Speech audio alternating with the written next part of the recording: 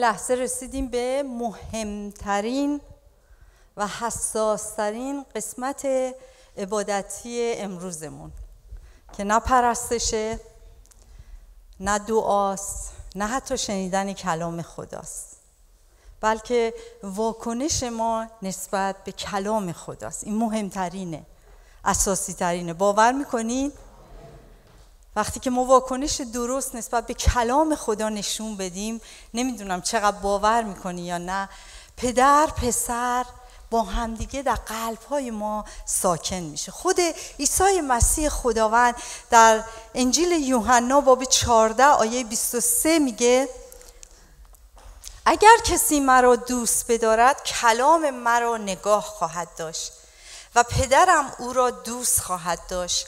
و ما نزد او خواهیم آمد و با او مسکن خواهیم گزید. آمین. برای اینکه باز هم تمامی تمرکز شما رو داشته باشم به این پیامی که ایمان دارم از دل خداست برای کسان خداوند صلاح می‌بینم که با یه داستان شروع کنم. چون وقتی با داستان شروع می‌کنیم یه کمی این ذهنهای ما آماده تر میشه. یه روزی یه مردی که اسمش مایک بود در یه شرکت خیلی عالی کار می‌کرد یه شرکت بزرگ رئیس شرکت احضارش کرد و او شاد و سرحال قبراق با اعتماد به نفس خیلی زیادی رفت تو اتاق شرکت. ولی وقتی از اتاق شرکت برگشت غمگین پژمرده خمیده اومد بیرون. منشی که این وضعیت رو دید گفت مایک چی شده؟ تو که حالت خوب بود. کشتیات مگه غرق شده؟ گفت من اصلا نمی‌تونم بفهمم. حقیقتا نمی‌تونم بفهمم. حتما رئیس من یه اشتباه بزرگ کرده. در این ماهای اخیر من شخصا بیشترین فروش رو در این شرکت داشتم. انقدر فروش داشتم که به خاطر فروش های ما سقف کلیسا کلی رفت بالا. و من فکر کردم رئیس منو احضار کرده که کلی منو تشویق کنه پاداش بده. برعکس کلی از من ایراد گرفت و انتقاد کرد. منشی هم که از تعهد مایک و اون وجدان کاریش کاملا اطلاع داشت کمی تو هم رفت و سریع رفت پیش رئیس و مشکلش و ناراحتیش رو با او در میون گذاشت. رئیس شرکت در حالی که لم داده بود یه لبخندی رو لباش بود گفت هیچ کس تو این شرکت به اندازه مایک عالی نیست. اون بهترین فروشنده این شرکته و من هرگز نمی‌خوام اون رو از دست بدم. ولی گاهی احساس می‌کنم اون متوقف شده و باید یه سیخونکی بهش بزنم یکم عصبانیش کنم تا به جایی که باید برسه برسه. و من ایمان دارم عزیزان در این زمانها مالک جان ما این آقا و سرور ما این ارباب ما با کلام مقتدرش که مثل شمشیر تیز و برنده است می‌خواد ما رو از اون رضایت درونی آزاد کنه. آمین؟ می‌خواد اون کسان خود رو سرسپردگان خود رو اون بقیت وفادار خود رو اون پیروان حقیقی خود رو به یک نارضایتی درونی برسونه تا با عشقی خالصتر با سرسپردگی عمیقتر با تعهدی شفافتر به سوی جلو حرکت کنن. آمین؟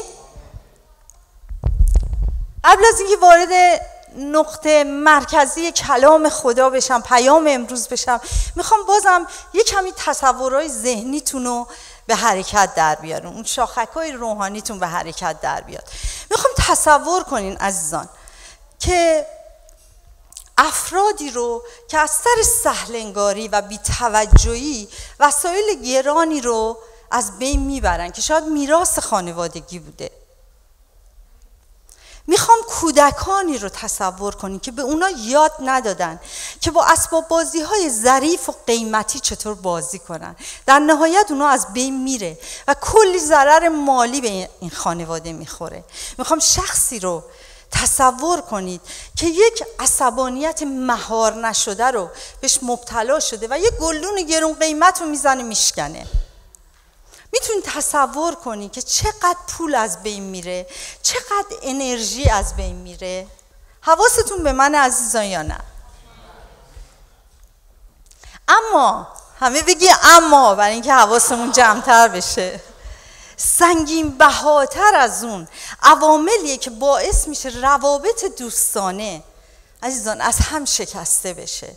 مثل بیوفایی، ناراستی، خیانت اون قول و قرارایی که چقدر راحت پایمال میشه. همه این مواردی که گفتم باعث از هم پاشیدن یک رابطه ظریف انسانی میشه که نه تنها روابط شکسته میشه بلکه جراحاتی به اون انسان وارد میشه آسیب هایی به اون انسان وارد میشه که به راحتی نمیشه جبران کرد. قبول دارین؟ اما اما همه بگین اما.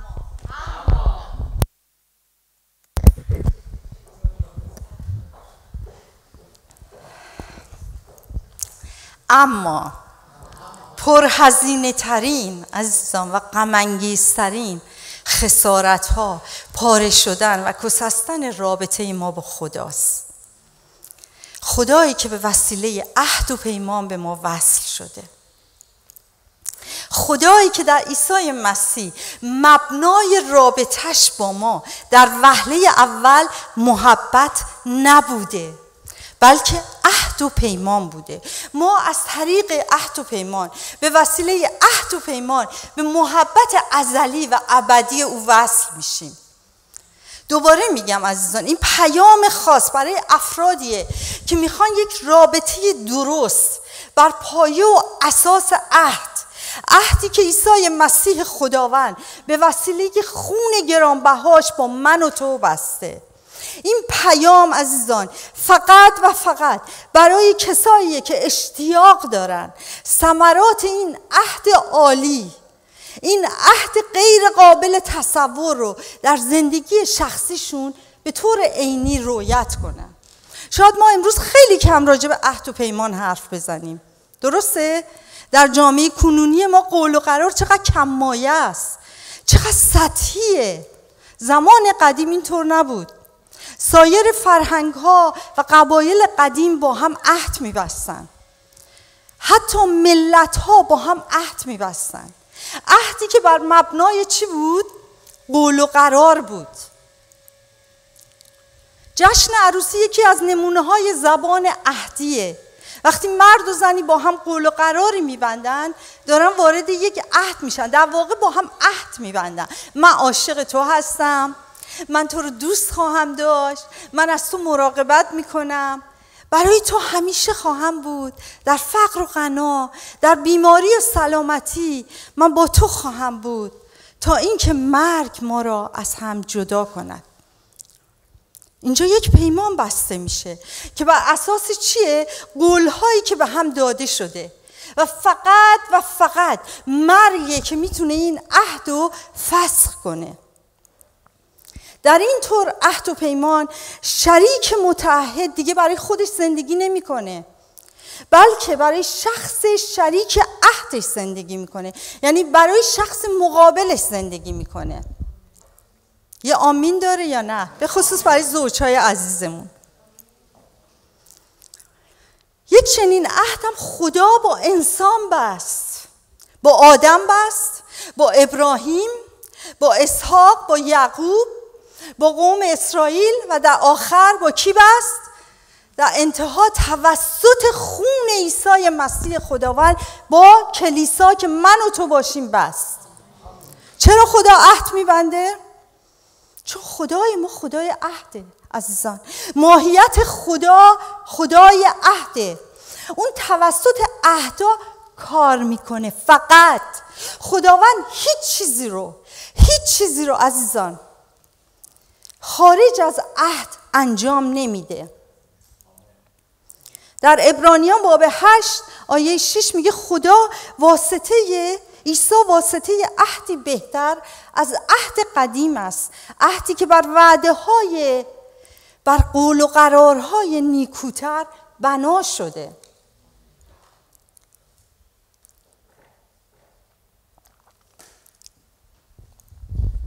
وقتی که مسیحیان متحد به خصوص گشایشی در زندگیشون انجام میشه نه گشایش های معمولی گشایشی که ارزش ابدی داره در زندگیشون رخ میده. به این معنیه که عهد خداوند چی شده؟ در زندگی یک نفر به واقعیت تبدیل شده. اگه ما یاد بگیریم عزیزان که خودمونو به عهد خداوندمون پیوند بزنیم در تمامی زندگی خود گشایش ها رو خواهیم دید.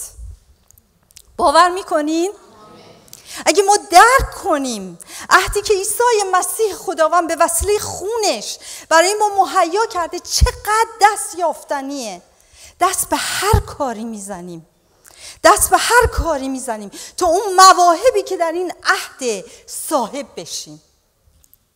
یک عهد بهتر که بر مبنای وعده های نیکوتر قول و قرار نیکوتر بنا شده.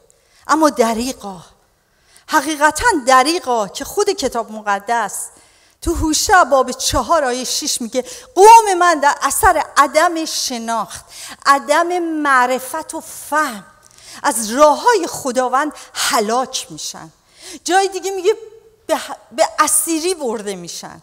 بسیاری از مسیحیان در اسرت زندگی می‌کنن در تنگی زندگی می‌کنن در تنش های روحی و روانی زندگی. هر چقدر روان درمانی میشن دعا میشن. هنوز پر از بستگی و افسردگی هن.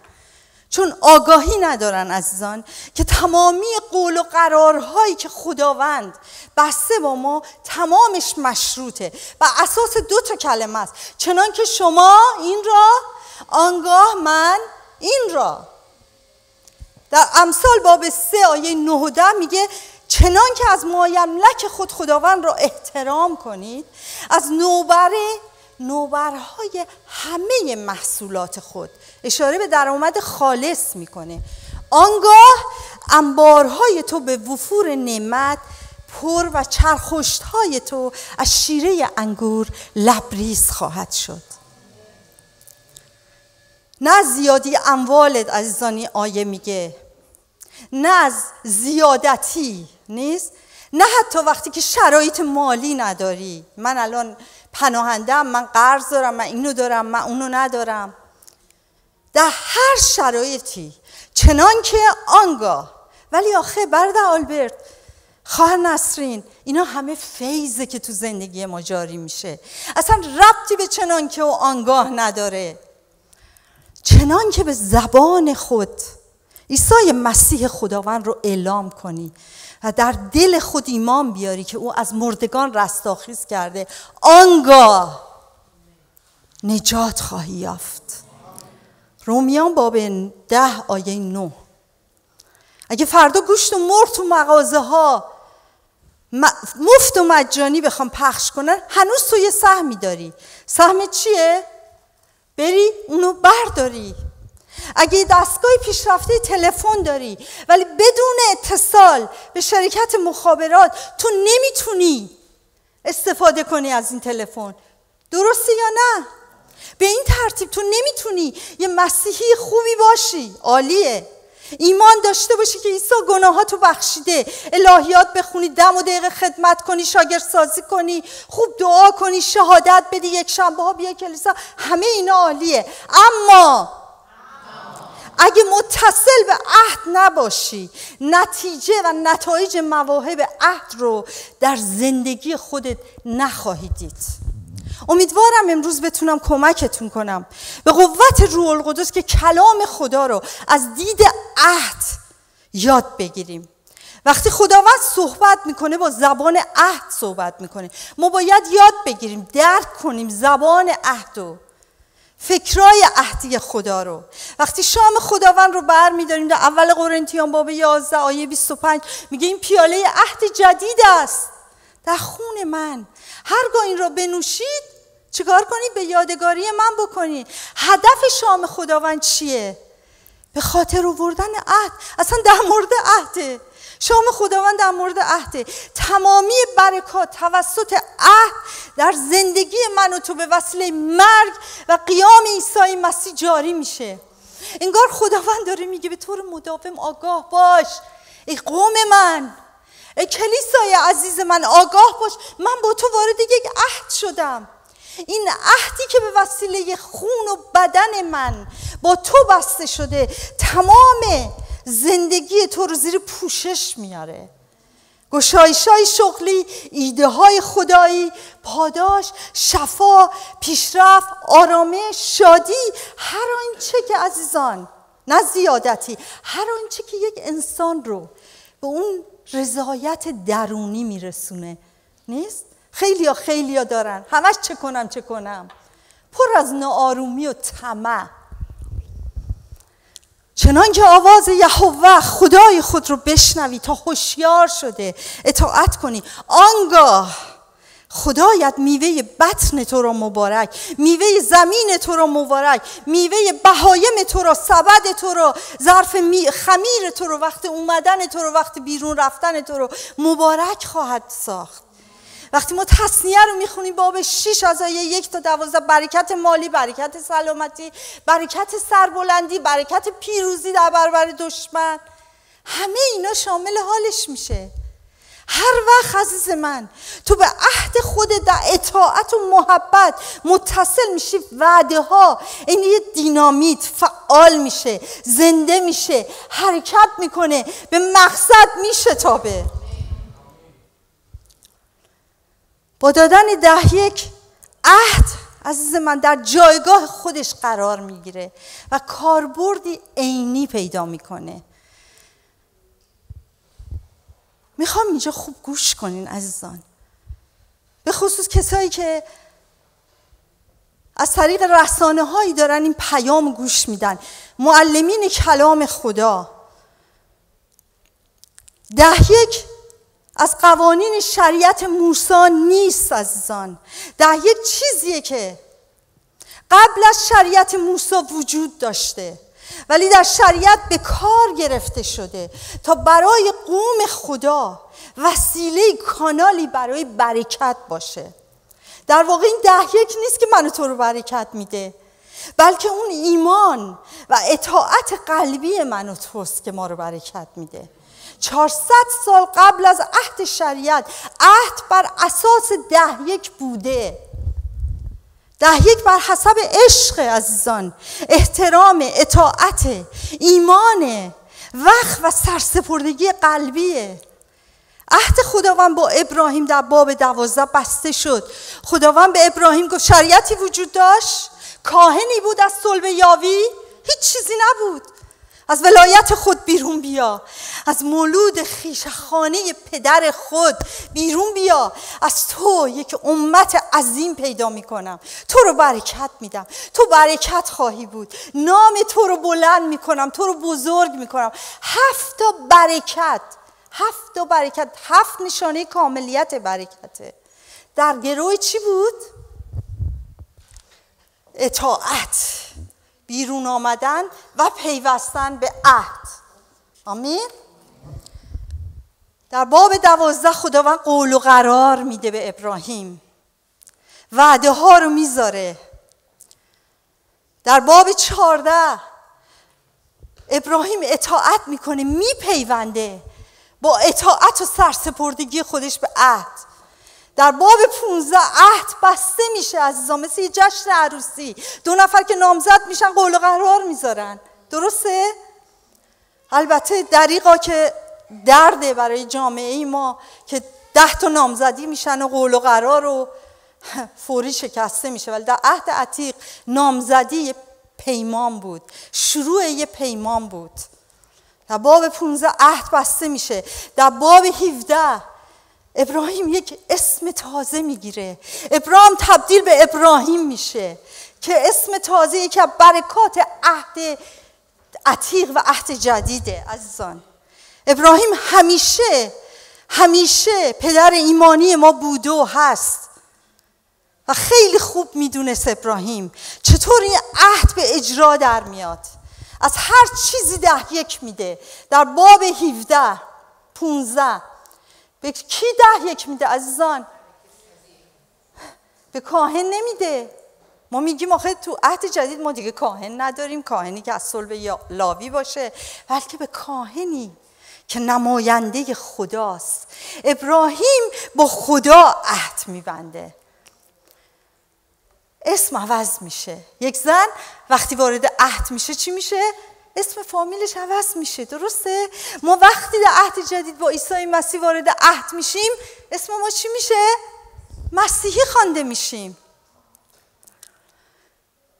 عزیزان خوب توجه کن تقوا و کاملیت ابراهیم نبود که عهد و مفاد عهد تو زندگی او جاری شد بلکه ایمان و اطاعت ابراهیم بود که او رو وارد عهد و اقتصاد خداوندی کرد.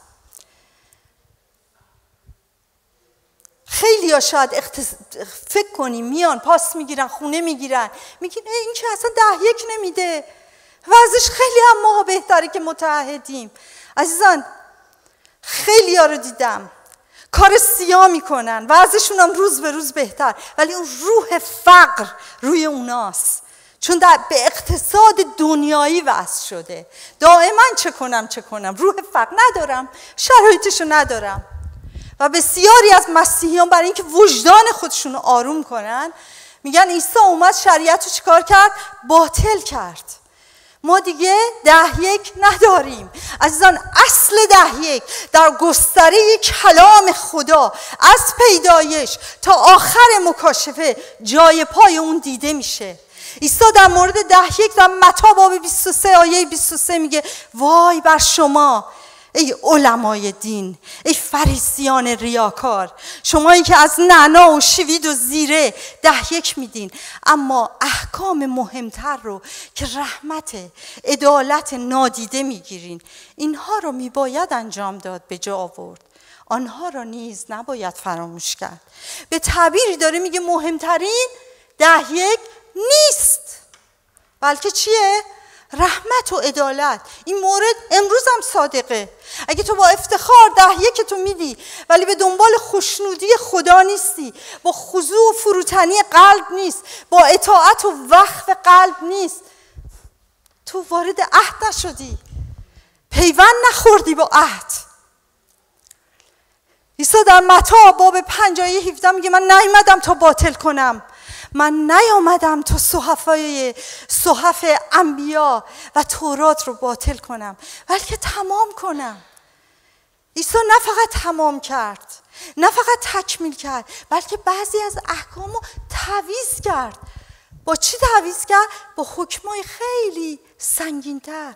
شنیده اید که در عهد عتیق گفته شده از قسم دروغ نخورین اما من به شما می‌گویم.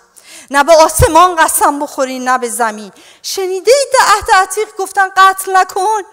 اما من به شما می‌گویم بی سبب اگه به یه نفر برادر یا خواهر خودت خشم داشته باشی همون دم در دل خود قتل کردی. شنیده ای در عهد عتیق؟ گفته همسایه خودتو محبت کن. اما من به شما می‌گویم دشمن خودتو محبت کن. عیسی مسیح خداوند نه ده یک رو تعویز کرد عزیزان نه احتیاج به تکمیل بود. به خاطر اینکه یک قسمت مهم از عهد بود. برای برکت و سعادت من و تو بود. زیرا خداوند می‌گوید فکرایی که برای شما دارم فکرای سلامتی است نه بدی عزیزان. خدا خیلی بیشتر به سعادت ما به فراوانی ما به راحتی ما فکر می‌کنه تا خودمون. با دستای بسته قلب بسته. فکرایی که برای شما دارم فکرای سلامتی نبدی. چی داره میگه؟ همین آیه داره زبان کامل عهده. خدا داره به وسیله این آیه با من تو عهد میبنده. چه متصل باشی عزیز جان چه متصل نباشی. اما وقتی متصل میشی افکار سلامتی شادی امید شالوم خدا در تمامی ابعادش به واقعیت در زندگی تو تبدیل میشه. تو توسط ده یک به خدای فراوانی به خدای جمعی هستی که پر از دولته پر از ثروت وصل میشی پیوند می‌خوری. عزیزان شما با ده یک برکتی برای خدا نیستی. در وهله اول برکتی برای کلیسا هم نیستی. تو برای خودت برکت هستی. چون خدا رو در وضعیتی قرار میدی که دستا و بازو اجرایش توی زندگی تو به حرکت در بیاد. تقریبا می‌تونم بگم سی و دو سه سال پیش بود که بعد از دو بار مصادره کامل اموال شخصیمون توسط حکومت نظام بدون هیچ پشتیبانی مالی باید با چند تا بچه قد و نیم قد ادامه می‌دادم. در اون زمان من مسئول خانواده پنج نفری بودم.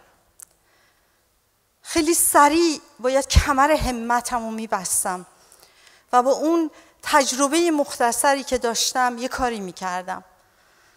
دو تا تجربه خیلی مختصر داشتم. یکی مدرک تایپ داشتم اون موقع ماشین نویسی بود. فوری رفتم توی شرکت پزشکی فردابه. برای نگاری فوری استخدام کردن. روز چندین ساعت نامه های پزشکی رو تایپ می‌کردم. دیدم نه هنوز کم میارم. و خدا یه ابتکار عمل داد که باید گوشه آشپزخونم رو تبدیل به سالن آرایش بکنم چون مدرک آرایشگری هم داشتم. برای همین شبونه یه کار خلافی کردم. از شما چه پنهان. اون موقع بعد اجازه کار می‌گرفتی پول می‌دادی. منم نه پول داشتم نه اصلا وقتشو که داشتم دنبال این کار رو برم. برای همین شبونه یه مقوای خیلی شیک و شبرنگ کردم و روش نوشتم. سالن آرایش لطیفه. و بعد ساعت دوازده یک و دو نصف شب یه نردبون گوشتم رو کولم زدم تیر چراغ برق سر خیابون کاخ. هی خانواده می‌دیدم گفتن خطرناکه تو این همه پدر در اومده. هنوز داری این کارا رو می‌کنیم. گفتم ببین من فقط می‌خوام درآمد بیشتری داشته باشم تا این بچه ها رو به سمر برسونم. چند سال خوشسالی بود. تا در یک روز مبارک به چشمه آب حیات سر سجاده نماز برخوردم. عیسی مسیح خداوند رو ملاقات کردم. انقدر مجذوب محبت او شده بودم شیفته او شده بودم. تو اون زمان عزیزا من نه قول و قرار خبر داشتم نه وعده نه اتصال به عهد. من اصلا دنبال قانون کاشت و برداشت نبودم. هیچی. من فقط عاشق شده بودم. من مریض عشق او شده بودم. من نمی‌دونستم چی کار باید بکنم. اولین کاری که کردم شروع کردم جزوای بشارتی. روزی چند ساعت فقط بشارت می‌دادم. و بعد که فهمیدم این ده یک چقدر خدا رو خوشحال می‌کنه. یعنی بیشتر فلسفه اطاعت بود. و من دوست داشتم فقط محو عشق او باشم. یادم بند و ابرو می‌کردم. پول خیلی مختصری می‌گفتم سریع ده یکشو میذاشتم گفتم اصلا نمی‌ذارم قاطی پولم بشه. تازه یاد گرفته بودم که ده یک مقدسه. و هر دفعه این پاکت پول پر می‌شد. زانو می‌زدم گفتم خدا و تو به من شادی دادی امید دادی. تو به من صلح دادی. منو از پشت در خونه مذاهب نجات دادی.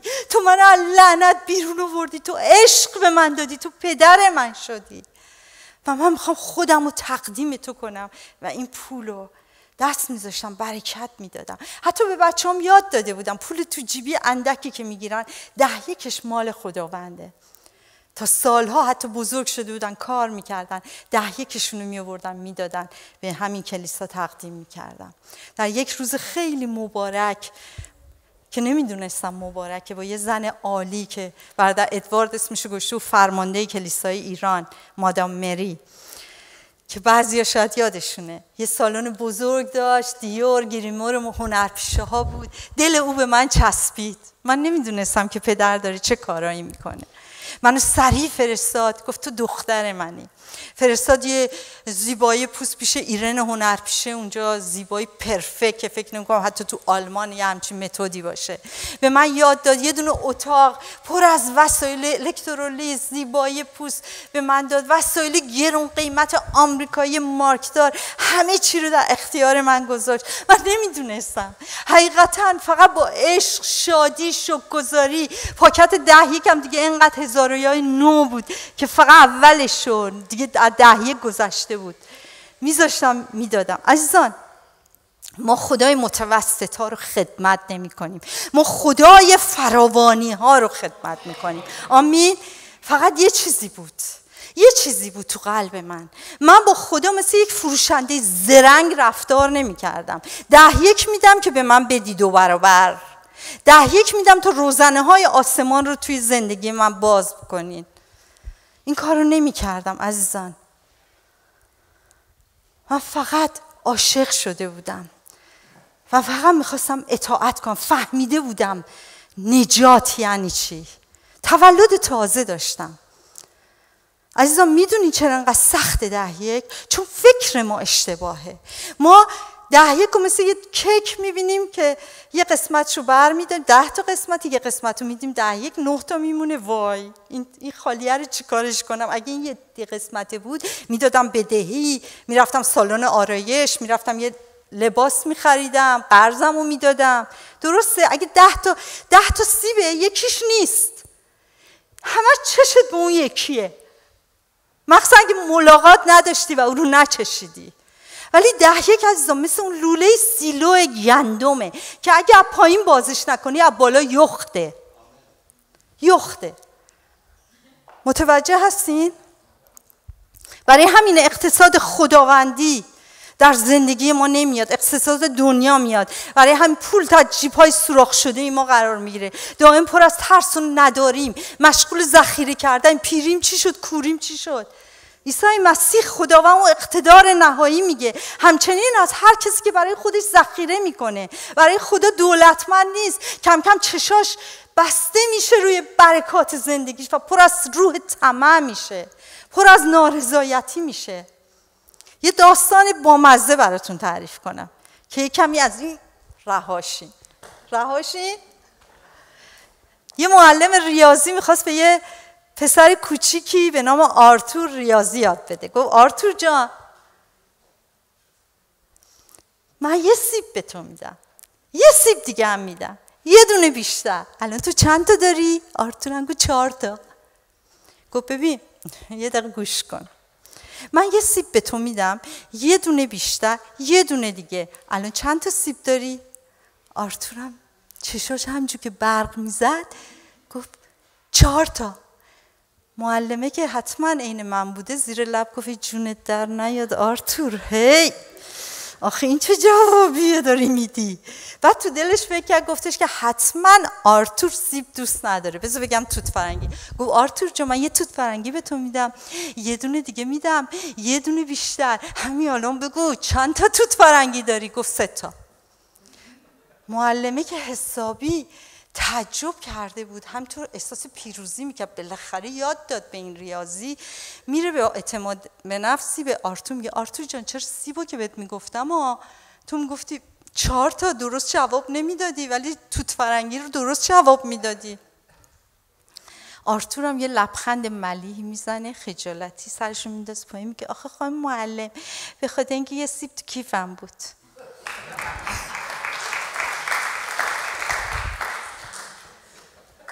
صرف نظر پاسخ خندهدار آرتور عزیزان اگه ما ایمانداران روی برکاتی که خدا به ما داده چشمامون رو نبندیم به روی اون سیب های قایم شده نیست؟ طور دیگه ای با خدا رفتار می‌کنیم.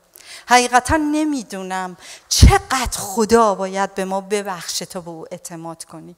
باشه که سیب های برکت زندگیمون رو به درستی بشماریم. چقدر آروم و خاموش خدا و ما رو برکت داده و ما نفهمیدیم. و به دنبال معامله کردن با خدا نباشیم. بلکه با قلبی که پر از پرستش اطاعت دستامونو که سمبل قلبمونه باز کنیم. آمین.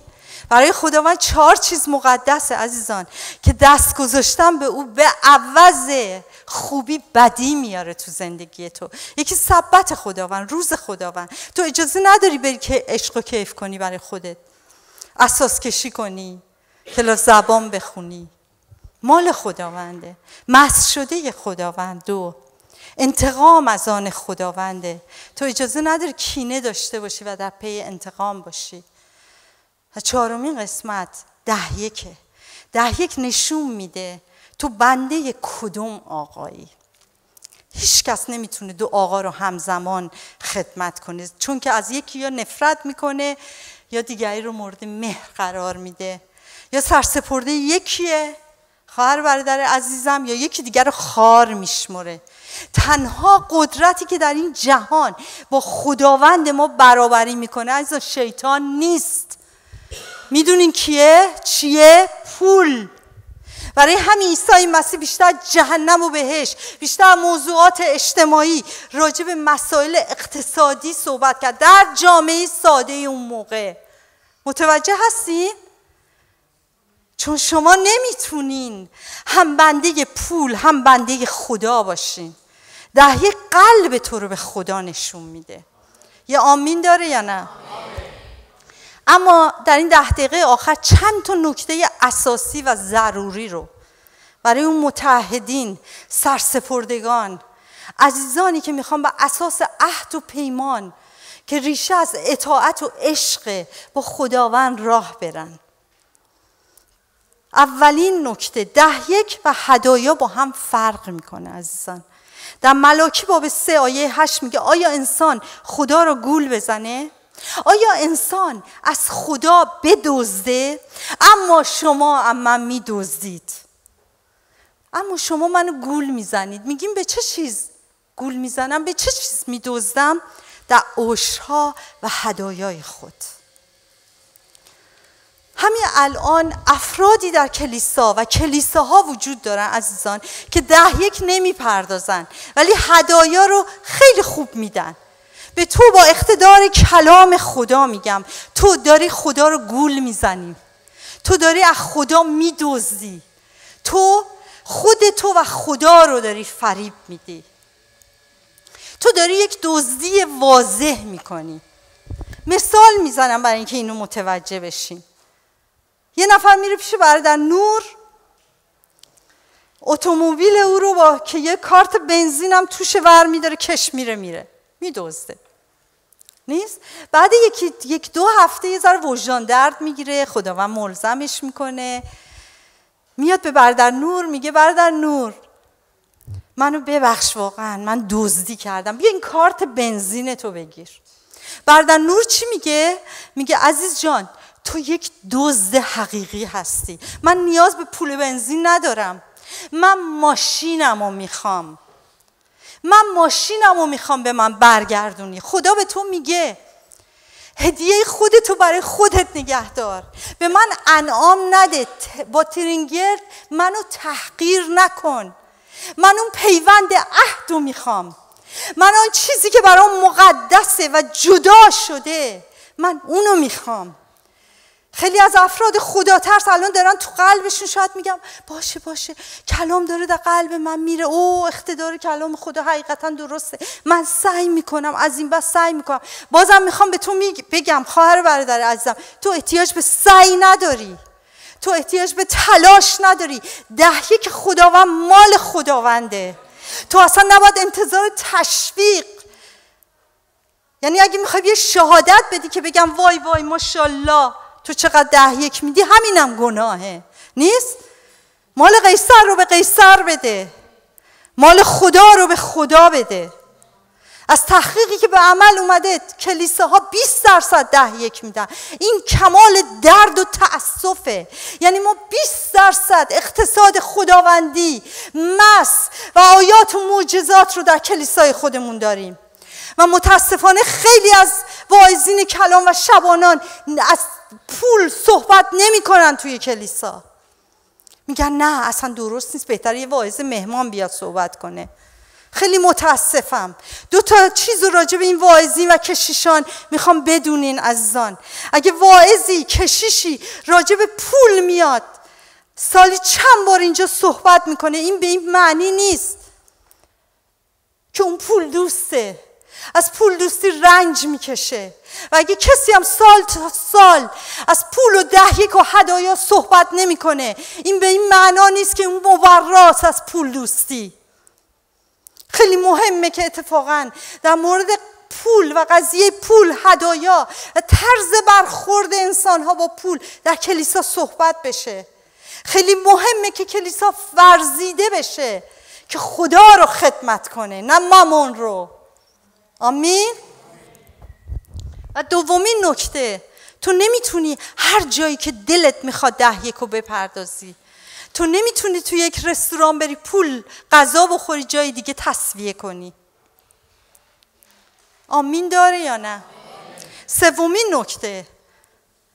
تو نمی‌تونی به جای ده یک دلتو خوش کنی بگی به خانوادم پول میفرستم نیازمندان به ایران. خب پدرم پول نداره خواهرم پول نداره. به جای ده یک من برای خانوادم میفرستم. عزیزان این یک اصل اساسی روحانی در کلام خداست. وقتی تو حرکتی می‌کنی حتی به ظاهر خیلی روحانیه. بدون اتصال به عهد خداوند برکتی پشتش نیست. نه برای اون شخصی که داری بهش هدیه میدی ظاهرا خیلی سخاوتمند به نظر میای نه برای خودت. هر قدمی باید با اتصال به عهد بشه. چهارمین نکته ده که خودتو بدون نام و نشان نده. زیادی روحانی نباش. خیلی ها میگن من به خدا میدم. اصلا احتیاجی نیست. اسم. نام و نشانی تو مهمه. یک نوع گواهی باز و روشنه. از وفاداری تو. نسبت به خدا و کلیسای محلی. و این اصلا مقایرتی با کلام خدا نداره. عیسی خداوند خودش در لوقا باب دوازده نگاه می‌کرد به کسانی که هدایا می‌دادن. حتی اندازه هدایای اون بیوزن تعریف می‌کرد برای این و اون. آمین یا نه؟ اینکه تو با درآمد خودت به عهدت وصل میشی و منزل روحانی تو حمایت می‌کنی احتیاج نیست مخفیانه باشه. چون هر جا که گنج توست دل تو آنجاست. و پنجمین نکته تمنای قلبی پدر پسر روح القدس و شبانان این کلیسا و خادمین این کلیسا. از پول ناپاک. به کلیسای خداوند ده یک نده. خزانه مالی خانه خداوند رو بی برکت و آلوده نکن.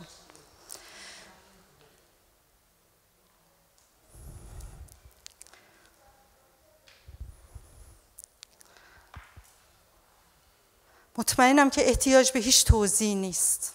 عیسی مسیح خداوند عملا گفت من میرم زندگیم رو برای شما بدم. به طوری که بتونم کاهن اعظم باشم. جایی که عهد وجود داره. عزیزان شما عهد رو با عیسی نمیبندین. عهد شما توسط خون عیسی مسیح بسته میشه به خدای پدر یهوه الشدای خدای قادر مطلق.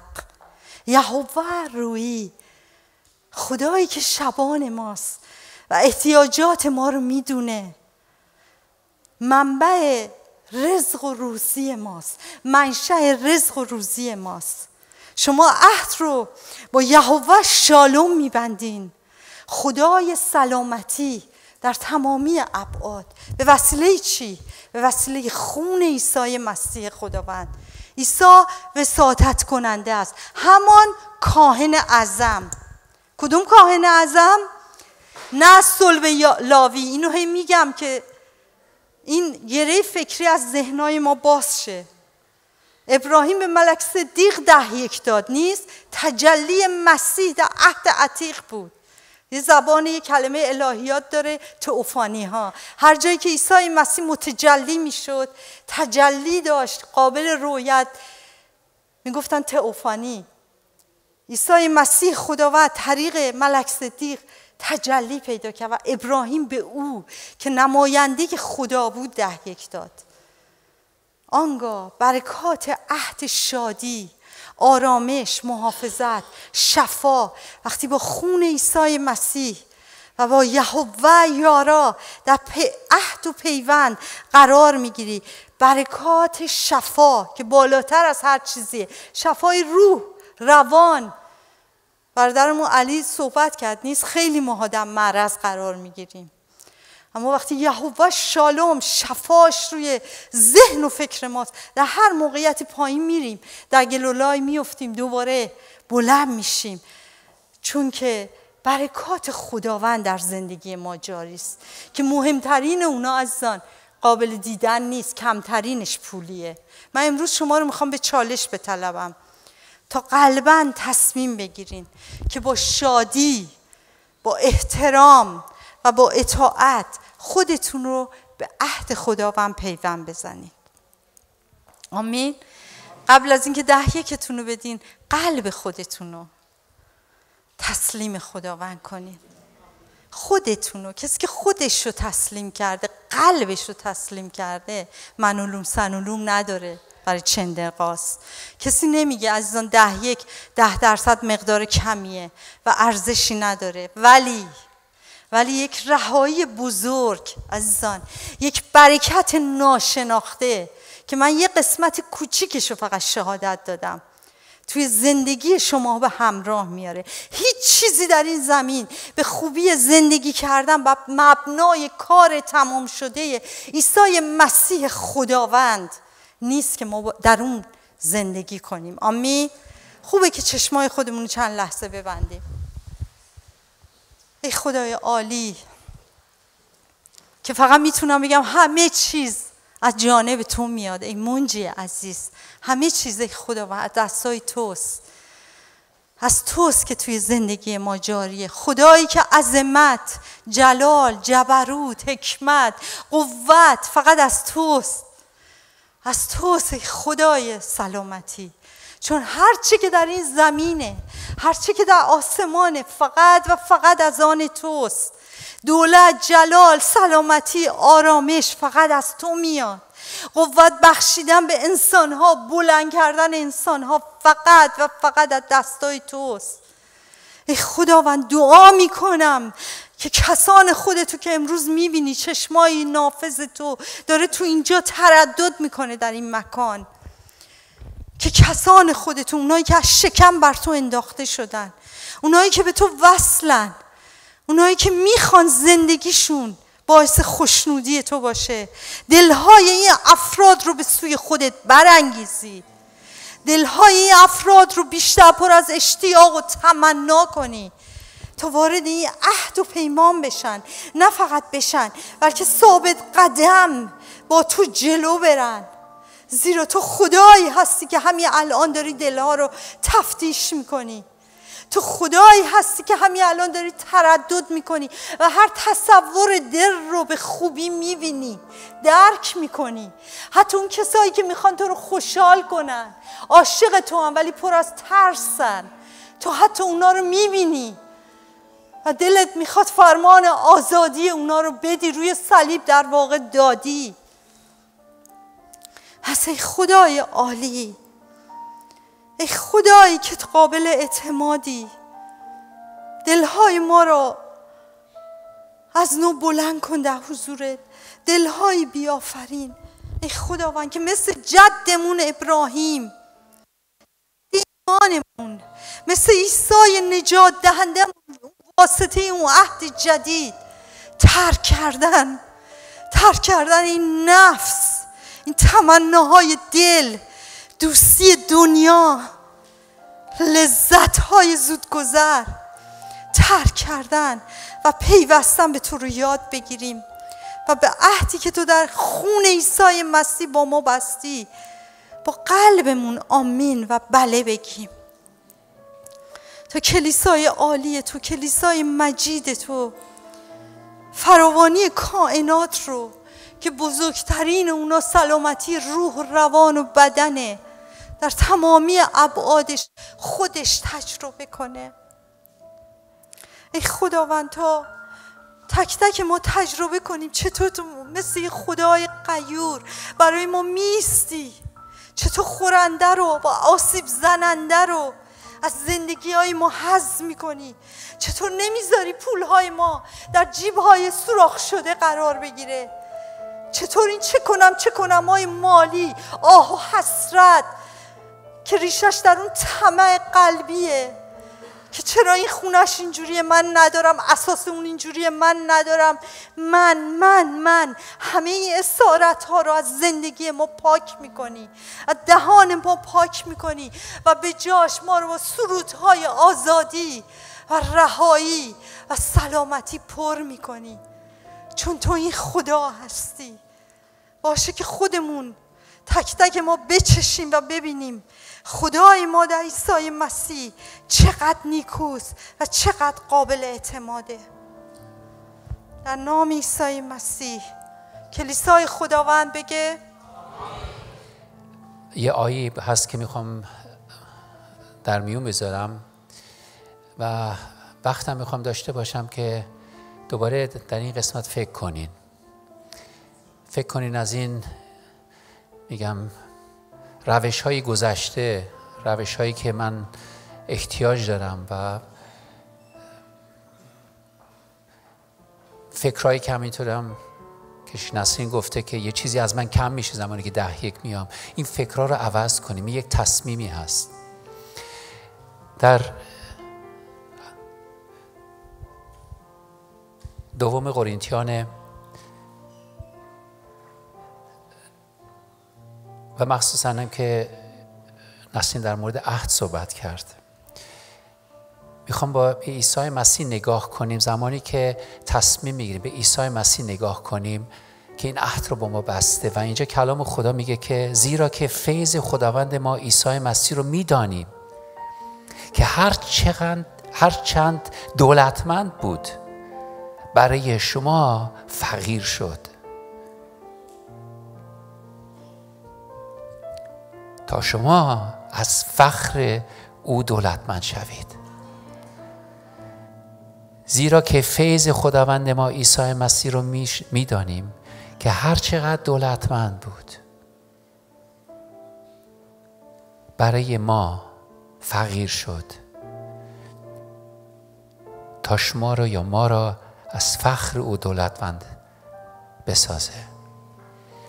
من می‌خوام وقت بذاریم. هفته گذشتم هم اینطورم در مورد پول صحبت کردم. نه فقط ده یک در مورد پولم پول صحبت کردم.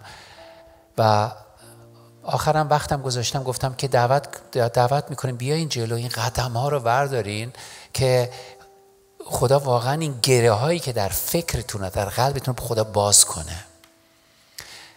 و همون چیزی که ما متوجه شدم که زمانی که ما در مورد شفا صحبت می‌کنیم در مورد نجات صحبت می‌کنیم در مورد تسلی صحبت می‌کنیم در مورد که چقدر خدا تو رو دوست داره و دعوت می‌کنیم جلو همه میاین جلو اونجا پر میشه. و زمانی که در مورد پول صحبت می‌کنیم و در مورد اینکه واقعا وفادار بیا این عهدی که خداوند با تو بسته وفادار بیا بگو و همینطور هم توبه کن بازگشت کن. بعضی وقت خیلی اشتباهاتی می‌کنن بعضی هستن افراد هنوز جا نیافتاده. و این موعظه ها رو این تعلیم ها رو می‌کنیم. چون خدا می‌خواد شما دولتمند بشید.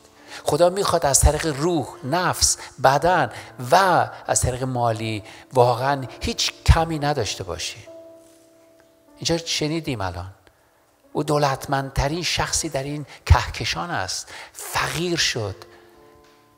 و زمانی که اینجا اطاع... این اطاعت می‌کنی. این با او عهد رو میبندیم. تمام ثروت او رو دولتمندی او وارد زندگی ما میشه.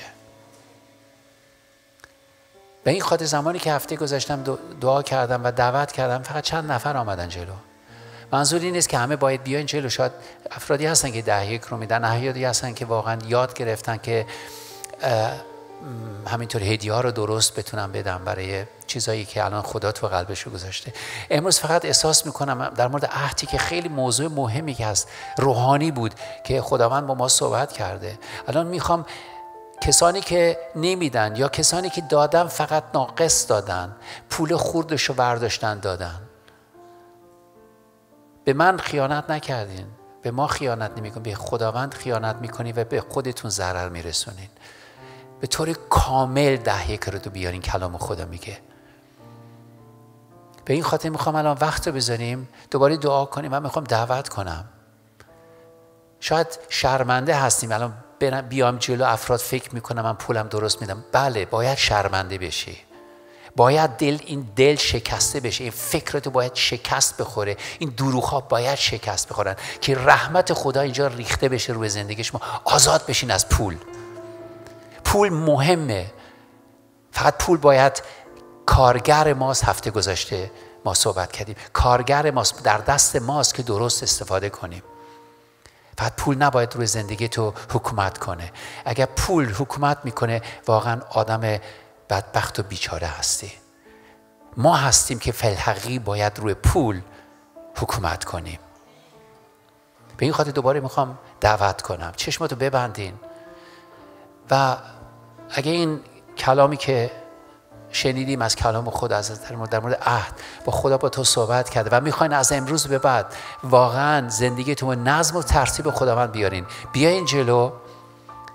ما فقط از بالا اینطور دعا می‌کنه برای شما. فقط اینجا توبه هست بازگشته و قدم های اصلی رو ورداریم برای خدا. اگر سوال های دیگه هم هست بعد از جلسه هم وقت هم هست. توی تعلیم های روزهای چهارشنبه پنجشنبه هم اونجا تعلیم هم میدیم در این قسمت. فقط پول یه چیزی هست که قدرتی هست باید زیر دستای شما باشه. روح القدس تو بیا الان. خداوند ملزم کن.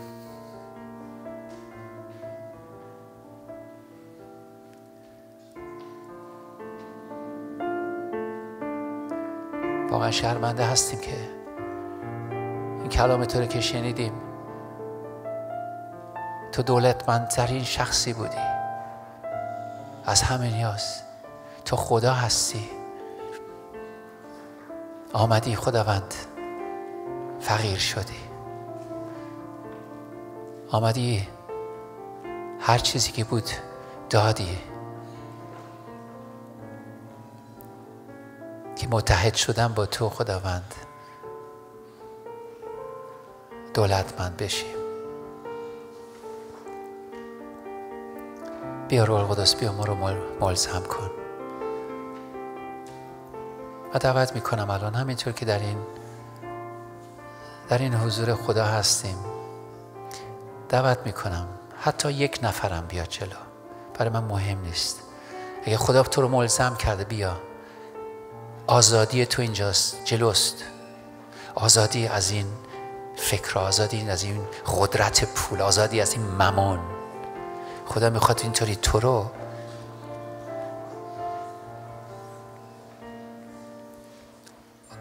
آزاد کنه.